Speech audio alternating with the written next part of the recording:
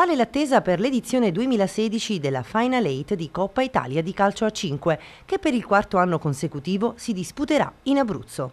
I campioni della Serie A, quelli futuri dell'Under 21 e le stelle della Serie A femminile Elite saranno in campo dal 2 al 6 marzo. In Abruzzo, a Pescara e nel territorio circostante Pescara ci sono tutte le condizioni di passione, di affetto, di impiantistica sportiva, di organizzazione.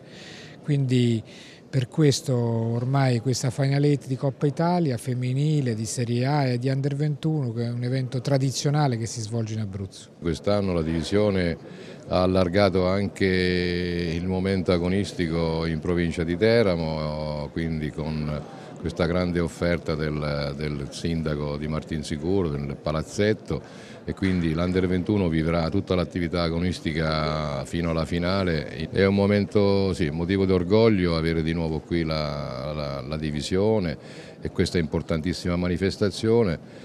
E il segnale è che il movimento del calcio a 5 in regione rimane uno dei più grossi movimenti in Italia e con tre società in Serie A che ancora adesso eh, si dividono la, la, possibilità di vincere ulteriormente lo scudetto e di vincere anche questa Coppa Italia. L'altro motivo d'orgoglio è la partecipazione alla finale della società di Montesilvano di calcio a 5 femminile che ci dà grandi speranze per eh, ribaltare il risultato dell'anno scorso in questa manifestazione perché sta facendo un campionato a livello nazionale importantissimo.